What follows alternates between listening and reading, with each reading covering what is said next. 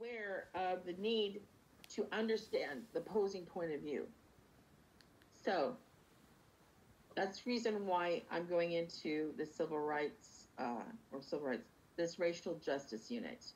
Um, we're going to start out next week with like an overview, and we're gonna, we are going to be talking about terms like white privilege.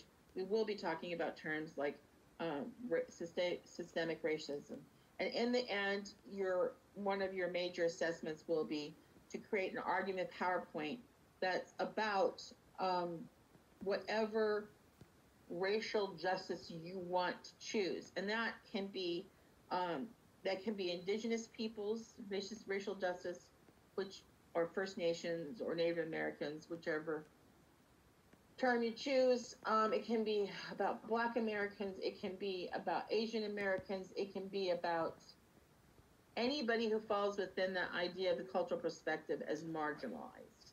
So racial justice. So you get to choose.